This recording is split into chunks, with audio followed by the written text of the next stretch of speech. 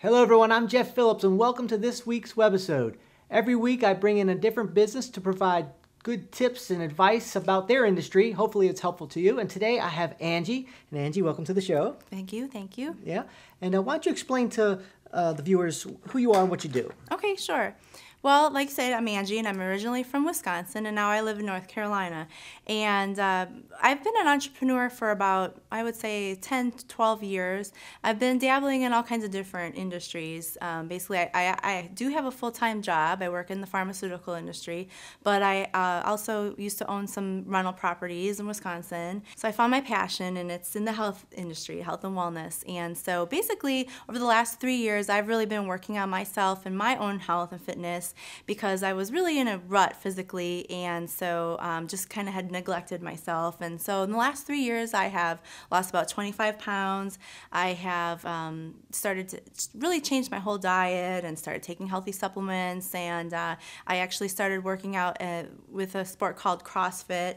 And I don't know if you've ever heard of it, but it's uh, pretty intense. It's um, like Olympic weightlifting and gymnastics together, and it's really awesome. But um, it's a lot of hard work. And I ran a half marathon last year, so I'm just really, you know, have embodied the health and um, fitness like spirit. So now what I do is I work with people who want to take their health and wealth into their own hands. Okay. Well, interesting. So, why don't you explain to us, you know, what, what's why is it so important? Why is it so important to take a multivitamin? Well, Jeff, you know, a lot of people think that they can just eat healthy and they'll get all the nutrition that they need. But honestly, what does that even mean? I mean, if you ask a big group of people what does that mean to them, you're going to get a lot of different answers. And even if you live in Whole Foods or if you are able to buy uh, organic produce and meat and eat that all the time, I mean, you're still talking about two weeks from field to shelf, and most of the nutritional value is gone by then, anyways. And even if you do manage to eat healthy, you're still not eating mangoes and goji berries, acai berries, medicinal herbs. You know, you're really missing out on a wide array of phytonutrients and antioxidants that are critical for your body's proper functioning. So that's why it's really important to supplement what you eat with a high quality multivitamin. Okay. Now I know it can be confusing out there because there's different forms of multivitamins. What is the difference between a, a liquid multi and a, a pill form?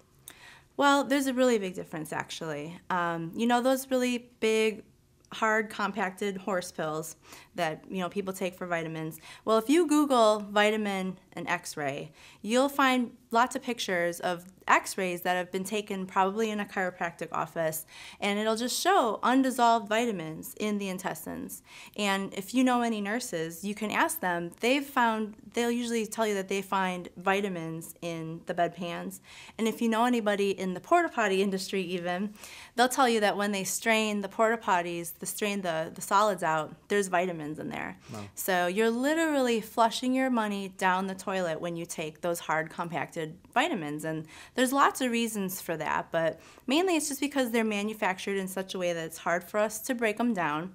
And when if we do manage to, to dissolve them somehow in our body, you know, they're usually made with synthetic vitamins and nutrients that our bodies don't know how to process.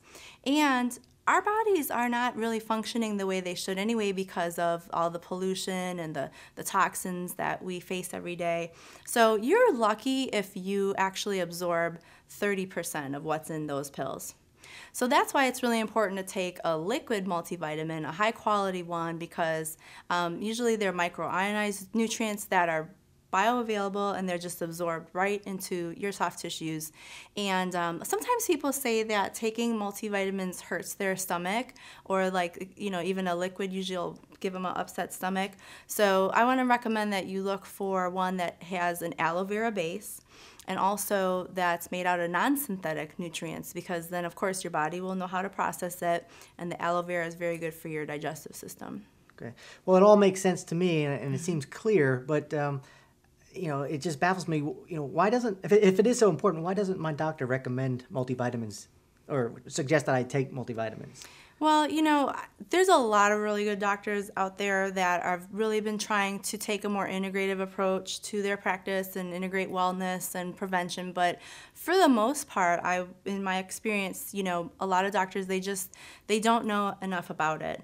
And you know, when they go to medical school, they're taught how to diagnose symptoms, to diagnose illnesses and diseases, and to you know what drugs to prescribe to people and what surgeries to recommend. And you know, you pretty much are going to the doctor when you're already sick. So it's really too late by then. And you know, if the doctor wants to start integrating wellness into their practice, they need to learn about that on their own. And a lot of doctors just frankly don't have time for that. So that's why I do what I do now. And I teach people how to take their health into their own hands because health is wealth. And that's what you should be investing in. And no purse, no pair of shoes, no beach house, no boat is going to mean anything if you're not healthy enough to enjoy it. Right. I often say, you know, you, you're, you're either going to pay the farmer or you're going to pay the doctor. You know, Yeah. who would you rather pay? I mean, I'd rather pay the, the farmer. Yeah, So- exactly. So well, that's good information. Thank you for coming Thank in you. today. And um, if any of you are interested in more information about uh, what Angie does and what she offers, uh, check out the website at the end of this video. And if you have found this video to be valuable and it's your first time hanging out with us, I'd love for you to subscribe. Um, if you're here watching this on our YouTube channel, please subscribe uh, to the InFocus Studios YouTube channel and uh, feel feel free to leave any comments below. We'd love to continue this conversation. And that's it for now. And until next time, take care.